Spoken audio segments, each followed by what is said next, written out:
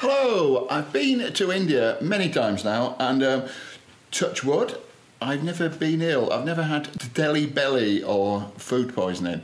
Um, now, that's not to say that I'm not very lucky. I suppose I have been because I have been quite a few times.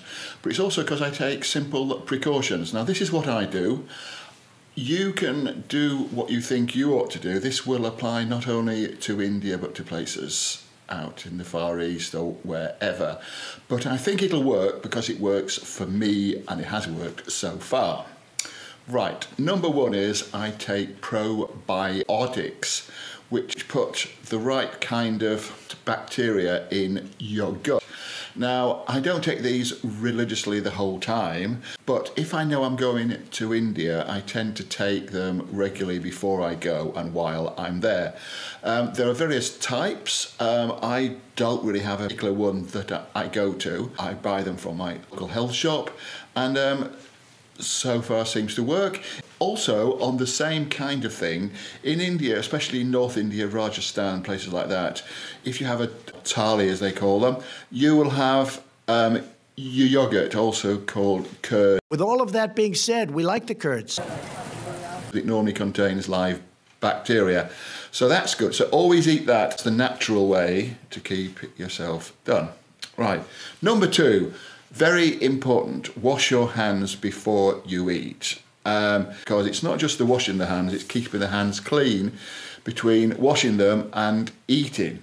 So, for example, it's no good washing your hands and then pulling a load of money out of your pocket because you're going to get them filthy again. I always carry liquid sanitizer around with me, which looks a bit, um, but I'd rather look a bit go down with food poisoning. So, but from the time you wash your hands, the time you sit down and eat, don't touch things like the door handle and things like that. That's one reason why Indian people eat with one hand. It's the hand you're most comfortable with. It's not, it doesn't have to be the right hand, obviously, because people are left handed and right handed. So when you're washing your hands and you've washed your hands, use soap, then the hand you think about the hand that you will eat with, in my case, the right hand, and keep that hand hand clean. So if you're going out the bathroom or wherever it is you wash your hands, open the door with your left hand, sit at the table, pull your chair back, all those sort of things, use your left hand. I always keep my fingernails quite quite short. Good thing to do, and then make sure you wash them when you do it. So anyway, that's the second thing is washing your hands. Um, the third thing is, of course, is water. In India, a lot of well, it depends where you are in India. In the south, especially Kerala, a lot of the water comes out of springs, and it's um, I am told, and I I believe them. It's it's okay to drink. It's certainly, I never drank it really, well, not knowingly when I was in Kerala, but I certainly brushed my teeth in that water. Now, in somewhere like Rajasthan or, or Delhi or whatever, I would not brush my teeth using the water out of the, the tap. People tell me you can, but I think it's a little bit of a risk. I tend to use bottled water. I always drink out of the bottled water. And when, you go into restaurants, especially when you're a Westerner in India, they will normally give you a bottle of water. They will charge you for it, which is no big deal. It's probably like a litre of 30 rupees, which is like, so it's probably 30 pence or 40 cents. That's what I meant. So anyway, so it's nothing. Four, eat in popular restaurants. So if you go to a place and it's packed and and seething with local people and they've got their children there, you know it's going to be okay. Same goes for street food.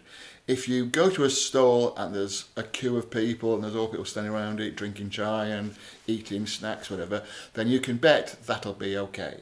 And also, there's another thing about this is the fact is the more people use a place, the higher the turnover will be. So you've not got stuff lying round all day attracting the sun and the flies whatever. It's just cooked eaten. And another thing is street food is normally safer for you believe it or not than a lot of more places.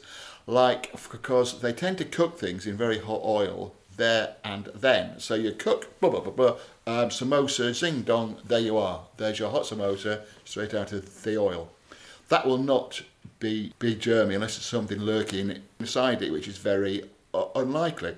But if you go to say a McDonald's, now I hear that most people go to India and eat at McDonald's or Burger King or KFC, which I don't understand why people would, but they do. There, the, I've noticed that the more people who tell me they got food poisoning or Delhi belly when they were in India had just been to a McDonald's or a Burger King. Now, this may be because the standard of hygiene is not as good in the Burger King or McDonald's as it is in like a person's local restaurant where he is personally in charge and it's like his place and he looks after it and he works there and makes sure everything's clean. It, it might be that, and also it might be the fact is that if you, if you go to any McDonald's in the world, you'll see things standing around for ages under hot lamps. Now, no matter where you are, that can't be good. Okay? Now, the third thing is, I'm talking about me going to India and not having food poisoning or things. I am a veget- vegetarian. I occasionally eat fish, but less and less actually. But um, I don't think I've had it in India, fish in India. I don't think I ever have. Not that I wouldn't. Oh no, I did when I went to to Kerala. It's hard not to there. So I had a lot of shellfish and a lot of fish in And I was okay. But generally speaking, I am a vegetarian, and I tell you what, I would say off the top of my head that you're 90% less likely to catch anything bad if you're a vegetarian. I noticed that Karl Rock a New Zealand man who now lives in India, who is now an Indian, I think, has married an Indian Indian woman. He gets food poisoning about every six months, he says. Now he does eat meat, so you can take from that what you will. Um, and also, he's the sort of guy that if he is ill, he will go out and have a load of antibiotics. Now, I again, if I do get a bit of, well, when I'm in India, I have had um, minor stomach things, I mean, minor things like maybe a bit of gurgling or whatever. I tend to, if that happens, not go out and have a load of antibiotics or go to the pharmacy and have something chemical. I tend just chew a piece of ginger. Because that's another thing. Going back to the water again, you've got to be careful about things like salads. You've got to think what is something going to be washed in. Now, if you're having a side salad in a hotel, chances are it'll be washed in bottled water. Maybe not, but in a small place, it'll be washed with the water out of the tap.